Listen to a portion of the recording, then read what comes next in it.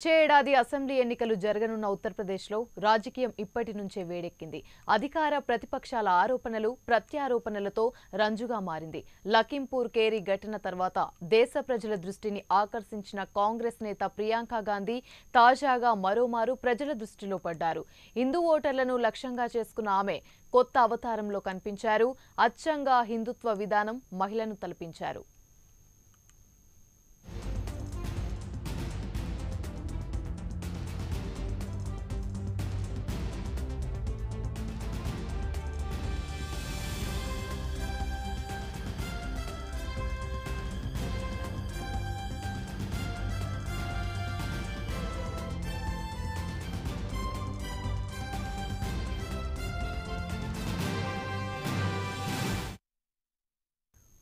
వారణాసిలో నిన్న నిర్వహించిన కిసాన్ న్యాయ్ ర్యాలీలో పాల్గొన్న ప్రియాంక నుదుటన చందనం బొట్టుతో కనిపించారు. అంతేకాదు నవరాత్రుల వేళ దుర్గాస్థుతితో ప్రసంగాన్ని ప్రారంభించి అందర్నీ ఆకట్టుకున్నారు.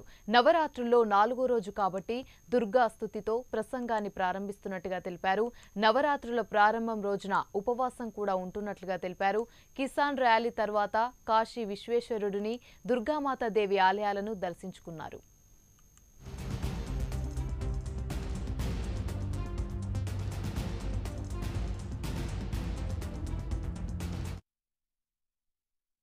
ఇప్పుడు ఈ కొత్త లుక్లో సోషల్ మీడియాలో వైరల్గా మారింది. ఎన్నికల్లో హిందుత్వ ఓటర్లను ఆకర్షించుకునేందుకే ప్రియాంక ఇలా రూట్ మార్చారని అంటున్నారు.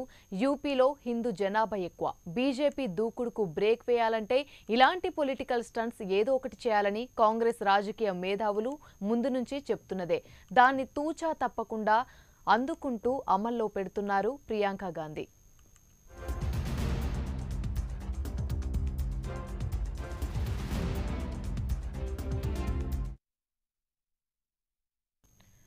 మొన్న లఖింపూర్ కేరీ ఘటన విషయంలోనూ ప్రియాంక గాంధీ చేసిన హడావిడితో ఒక్కసారిగా లోకల్ నేషనల్ మీడియా దృష్టి ఆమెపై పడింది.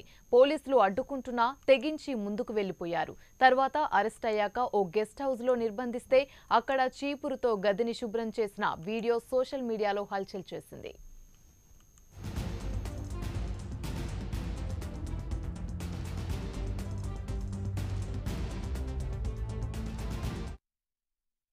తాజాగా ఇప్పుడు కిసాన్ ర్యాలీలో నుదుటున అరచేయి మందంతో పెద్ద బోట్లు పెట్టుకొని మహాసాధ్విలా సరికొత్త లుక్లో కనపడి అందరినీ ఆశ్చర్యంలో ముంచెత్తారు.